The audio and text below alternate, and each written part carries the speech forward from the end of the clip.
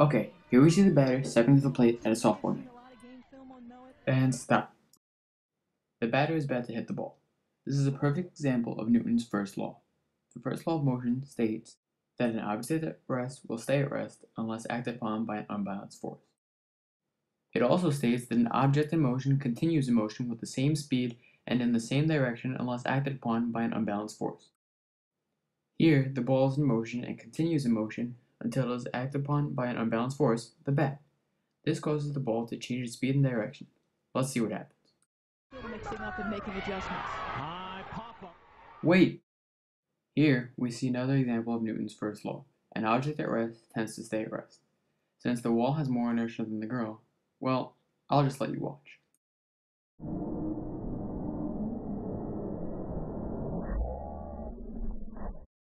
Since the wall has much more inertia than the girl, the wall goes nowhere, and the girl quickly comes to a stop. You should be glad that you haven't experienced Newton's first law the way the center fielder did.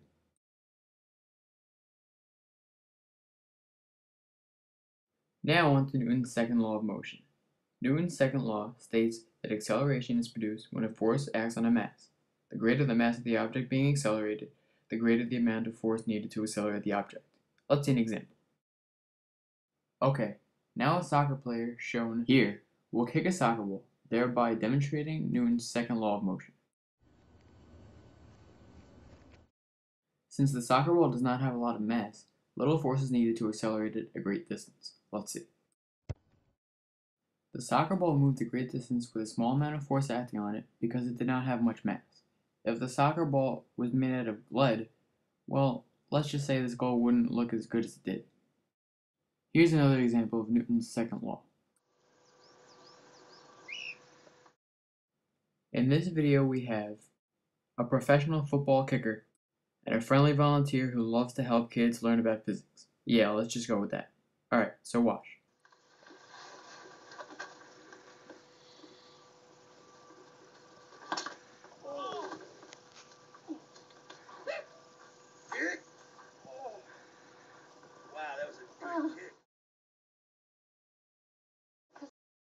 Here, the ball requires a little force to move at a great speed. Our friendly volunteer, on the other hand, with a great amount of mass, goes basically nowhere from the force of the ball.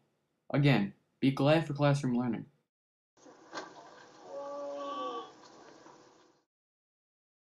Now we move on to Newton's third law of motion. The third law states that for every action there is an equal and opposite reaction. Let's see another example. Here, pro superstar Michael Jordan goes for a dunk. His feet push on the ground with a certain force. The floor returns with an opposite and equal force to his feet. This causes him to accelerate upwards.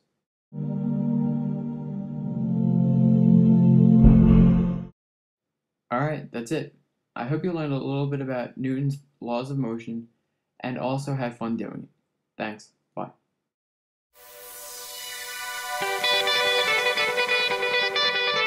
Lay. Sir. Yeah. Yeah.